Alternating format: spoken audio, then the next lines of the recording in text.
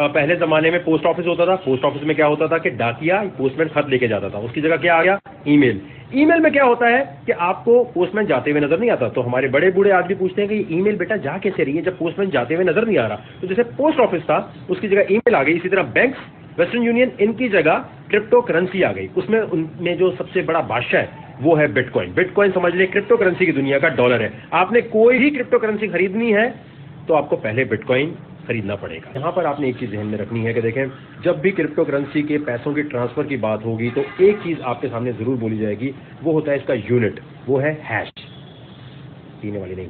Hash जो है, उसमें क्या होता है बेसिकली कि आप इसको ऐसे आसान ज़ुबान में समझें कि अगर आपके सामने चार पाँच ताले रख दिए गए हैं, ठीक है लॉक्स रखे हुए तो कितनी जल्दी आप उसे खोल सकते हैं। मतलब जो कॉम्बिनेशन है ना बार बार एक कॉम्बिनेशन नहीं लगा, दूसरा कॉम्बिनेशन नहीं लगा, तीसरा कॉम्बिनेशन नहीं लगा, चौथा कॉम्बिनेशन नहीं लगा। इसी तरह जो कॉम्बिनेशन बार बार आप चेक कर रहे हैं, कितनी तेज़ी से आप ये कॉम्बिनेशन चेक कर सकते हैं, इसको हैश कहते हैं। आसान जबान में बता रहा हूँ, वरना सिक्योर हैश अलॉगरिदम 256 के बारे में अगर बिटकॉइन के बारे में बताने चल जाऊँ, अगर बहुत ही साइंटिफिक बात करूँगा तो आपको कुछ भी समझ नहीं आएगा। तो हैश का मतलब क्या है? कंप्यूटेशन फास्ट करने की एबिलिटी कितनी फास्ट आप कॉम्बिनेशन को चेक कर सकते हैं। अब सवाल ये पैदा होता है कि जब ईमेल की बात करते हैं तो गूगल याहू इनके पास एक पूरा सिस्टम है। इनकी एक एक ऑफ़िस है जहाँ पर सारे कंप्यूटर रखे हुए हैं, जहाँ से आप ईमेल करते हैं तो वो ईमेल एक जगह से दूसरी जगह जाती है। अब बिटकॉइन का कोई मालिक नहीं है। बिटकॉइन का कोई ऑफ़िस नहीं है। तो ये पैसे जा रहे कैसे हैं? तो 2008 में ये जो सॉफ्टवेयर बनाया गया था, उसका मकसद ये था कि किसी के हाथ में ये ना हो कि भाई वो कंट्रोल कर सके सिस्टम को। तो जो ये सॉफ्टवेयर बनाया गया जो इसका व्हाइट पेपर है, वो मौजूद है। अब इतनी टेक्निकल बातों में चला जाऊँगा तो फिर आप फंस जाएँगे। इसलिए उर्दू में आराम से समझ सकता हूँ। अब सोचने की बात यह है कि ये पैसे एक जगह से दूसरी जगह जाते कैसे हैं? आपने सुना होगा बिटकॉइन का कोई मालिक नहीं है। इसके कोई जितनी भी क्रिप्टो करेंसी उन्हें कहते हैं डिसेंट्रलाइज इसका मतलब क्या है? जैसे इंसाइक्लोपीडिया था पहले। एक ऑफ़िस में जाके आप बताते थे, भाई, ये रिकॉर्ड है, जरा इसको प्रिंट कर दो। उसी जगह क्या आ गया? विकीपीडिया कोई भी जाके वहाँ पर कोई चीज़ पोस्ट कर सकता है, कोई भी जाके पढ़ सकता है, ठीक है? इसी तरह जैसे पहले बुक्स पब्लिश होती थी तो आपको जाके लाइब्रेरी में पढ़नी पड़ती थी। अब इंटरनेट में क्या हो गया? हर कोई जाके पढ़ सकता है। किसी के हाथ में नहीं है, किसी के पास उसकी कोई टाइम लिमिट नहीं है। इसी तरह अगर पैसों की बात करें तो पैसे एक जगह से दूसरी जगह ट्रांसफ़र कैसे होते हैं? ट्रांसफ़र करने के लिए आपको करना ये होता है कि अगर एक जगह से दूसरी जगह कोई भी फ़ाइल आप ट्रांसफ़र करते हैं व्हाट्सएप पे तस्वीर ट्रांसफ़र करते हैं या ईमेल भेजते हैं तो उसकी एक कॉपी तो आपके पास भी रह जाती है। इसका मतलब अगर आप किसी को सौ रुपए भेजेंगे हंड्रेड डॉलर भेजेंगे तो उसकी एक कॉपी तो आपके पास भी रह जाएगी। तो माइनस कैसे होगा वो?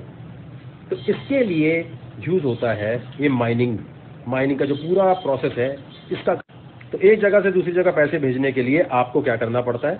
ये माइनिंग मशीन हर एक ने अपने घर पे लगाई मतलब वो नहीं कि अगर आपने पैसे भेजने तो आपको घर पे मशीन लगानी पड़ेगी। ये एक तरह से सॉफ्टवेयर जो है बिटकॉइन का या इथीरियम का या जो भी क्रिप्टो करेंसी है, वो ये ऑप्शन देती है कि अगर आप अपने घर पे कंप्यूटर लगाओगे, हमारा सॉफ्टवेयर डाउनलोड करोगे और हमारे सिस्टम को पावर दोगे कि यहाँ से वहाँ पैसे ले जाने में जो पावर चाहिए, वो अगर आपका सिस्टम भी देगा तो रिवॉर्ड में आपको कुछ ना कुछ पैसे मिलेंगे। जैसे बैंक मैनेजर को तनख्वाह मिलती है तो बैंक मैनेजर की जगह अब ये मशीनें आ गई हैं। आपने एक करोड़ भी भेजना है। तो दो मिनट में पहुँच जाएगा दुनिया में कहीं भी और कहीं भी जाके एक्सचेंज से आप उसे कैश आउट कर लें अभी बेवकूफ़ी वाला सवाल ये होता है कि नहीं, ये तो कॉइन्स है। अब इससे हम लोग जो है पैसे कैसे बनाएँगे? पेपर करेंसी का टाइम खत्म हो रहा है क्योंकि पेपर करेंसी की अवेलेबल सप्लाई नहीं पता। अगर आप ये कहते हैं कि बैंक जो है, उनके पास पेपर करेंसी जो पड़ी है, उसके पीछे जो है, वो तो गोल्ड है। कोई गोल्ड वोल्ड नहीं है भाई प्रिंटर से टपाटप पेपर निकाले जा रहे हैं, इसलिए कोई इसकी अवेलेबल सप्लाई हमें नहीं पता। और जहाँ तक गोल्ड की बात है गोल्ड के बारे में कहते हैं कि अवेलेबल सप्लाई कम है, लेकिन कितनी है भाई, हमें तो नहीं पता। क्रिप्टो करेंसी में हर कॉइन की अवेलेबल सप्लाई एग्जैक्ट आपको पता होती है। इसीलिए इसकी प्राइस मालूम करना या इसके प्राइस के बारे में सोचना बहुत आसान होता है। कोई इसे रेगुलेट नहीं करता, कोई बैंक ऑफ़ अमेरिका इसके बारे में बात नहीं करता, कोई तीसरा, चौथा बंदा आके इसकी प्राइस ऊपर नीचे नहीं कर सकता। जितनी खरीदारी होगी, जितनी डिमांड सप्लाई होगी, उसी तरह ही ऊपर नीचे हो रही है। और ट्रांजैक्शन के लिए माइनिंग यूज़ होती है। माइनिंग समझ गए भाई? ये जो कहते हैं ना कि भाई बिटकॉइन एक बबल है तो इसलिए बबल नहीं है मेरे भाई कि इसकी कोई रेगुलेटरी बॉडी नहीं है, इसका कोई ऑफ़िस नहीं है। आज अगर बंद हो गया, किसी को पूछ नहीं सकते, हैं ना?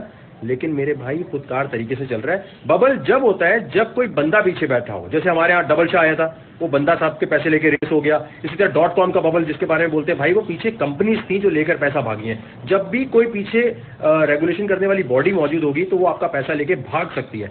हाँ ये सिस्टम किस तरह, इसका डाउनफॉल कैसे आ सकता है कि ये जितना ज़्यादा इस पर लोड पड़ता जा रहा है, क्योंकि जब ये बनाया गया था तो उसको नहीं पता था संतोषी भाई को या संतोषी ग्रुप मेरा मानना यह कि जापान का कोई ग्रुप था जिसने ये बनाया, ये मेरी अपनी थ्योरी है, एक बंदा नहीं हो सकता, ये तो बिल्कुल गलत बात है।